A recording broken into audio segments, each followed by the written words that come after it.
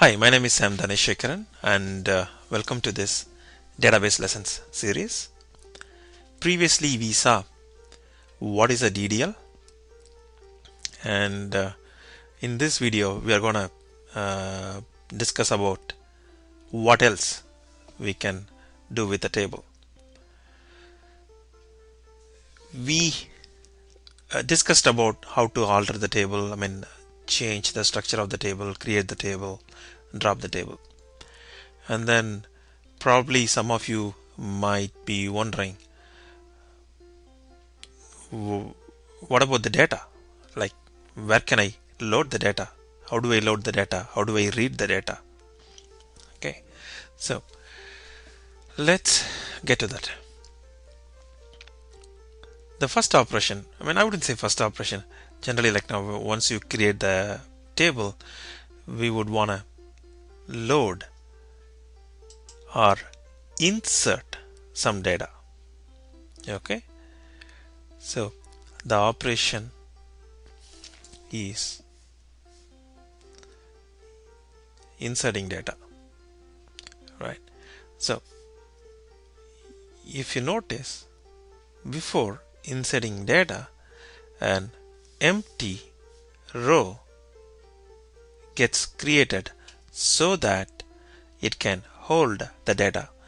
This is what most of the databases I would say all the databases would do before inserting data. Before inserting data the database would go and prepare internally some space to hold each and every row. So let's assume I want to insert uh, a row of data. And uh, so what I would do is uh, I would say like now insert into um, inserting into the table. Table name right? Here in this case it will be animals. Let's not worry about the syntax right now.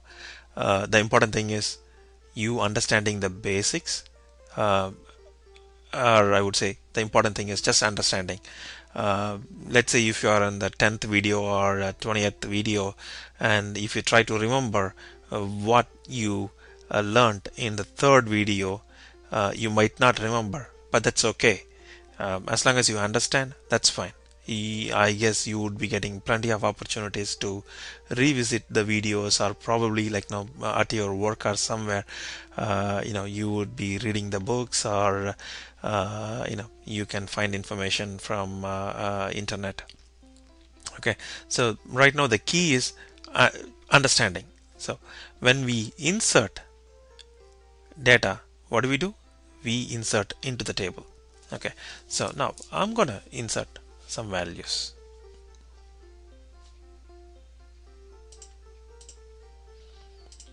Okay, name.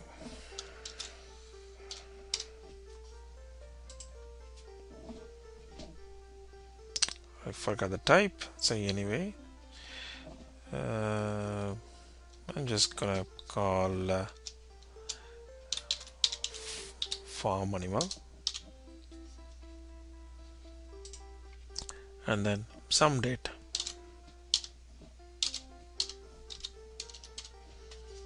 Okay how many calories it eat and then how much of milk it produces. Let's say two gallons a day or something. Okay so what did I just do? I inserted data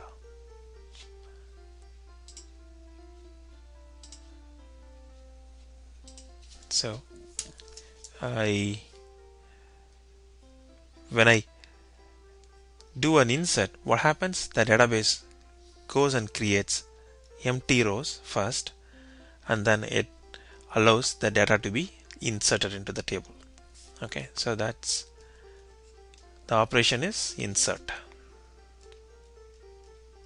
Okay, so after inserting, let's say I want to read what I have inserted, then that operation is called select which is basically I would like to read data. Okay. So uh, so what did you do? Hold on a second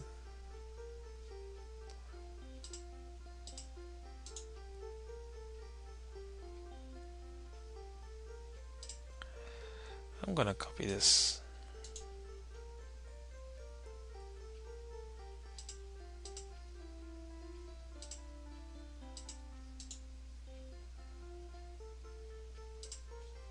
Okay.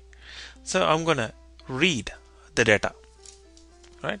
So to read the data what command will I use? I would use select. Select star. Uh, again uh, let's not worry about the syntax but then again I'll uh, just try to explain whatever uh, I can. Uh, when, when when it says star uh, it's basically like no it would read all the columns from here. Or I can say like no select just the name uh, meaning that select only these column right? The rows that belong to this column from the table okay. So but the important thing to remember is select operation. So after inserting I'm selecting. Okay. And the next operation would be to update the data. Let's say if I want to change data. Let's say I want to change this cow to sheep. Right? And then its birth rate is different and it consumes 50 calories. Some some some some values. Okay. Well, I'm going to leave it null. So so what did I do? I updated the data. Okay. The data was already there and I updated it. So the syntax is update table and then you pass in some criteria to update it. Again let's ignore the syntax but the important thing to know is we update the data right? So we did uh, insert and we did a uh, uh, select and then right now we are doing an update. Okay? That's the fourth operation. And now okay I'm going to delete the data. Okay. Here the important thing to know is when you delete right it would just delete the data and leave the empty row allocated as it is. Okay that's an important thing to note so when we delete data it deletes the data from the rows and it leaves them empty. We would visit uh, revisit this at some point of time. Uh, you know what? Let me uh, talk about that uh, right now. Uh, so when whenever any uh, new rows are added and then when we delete data it just deletes the data from the table and but it will leave those empty rows in there. So probably the these empty rows will be occupying some space which would be a good thing if we are going to load again some other data. But if not there is another operation called uh, truncate this is just you know, I'm providing this as an extra note. Okay.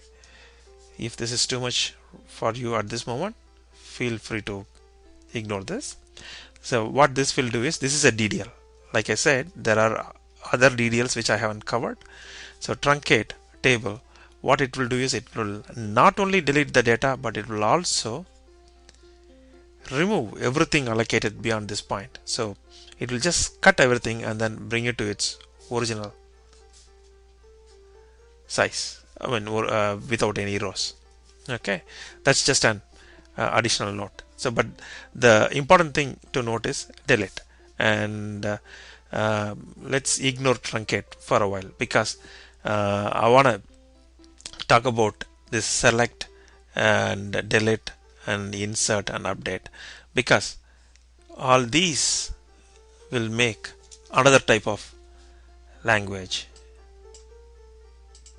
which is data manipulation language using which we basically manipulate the uh, the data. Okay? The select insert update delete. They form a part of data manipulation man, I'm sorry data manipulation language which you would find in the database world people refer as DML so in the last video we saw about DDL and right now DML which consists of select insert. Select is basically to read from a table. Insert is to insert data into a table.